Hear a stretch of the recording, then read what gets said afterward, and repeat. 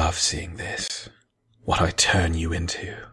An insatiable little pet filled with lust, desire, passion, and a constant craving for more. And you always get what you want, even if I have to delay your pleasure just to watch you squirm. Do you have any idea how much I crave this?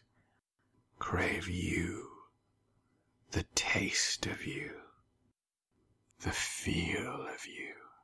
Look at you, my pet, laying there with your legs already spread wide for me, always ready for your master.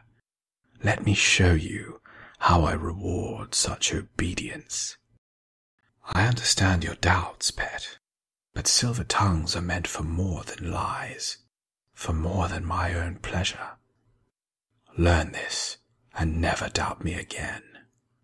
Darling, pet, lover, little one, sweetling. These names are inconsequential. The only title you need to bear is mine. Surely you can't believe that your own fingers could bring you nearly as much pleasure as mine can. Imagine these long, dexterous digits pumping and curling inside your quivering core. You seem distracted, darling. Should I take over?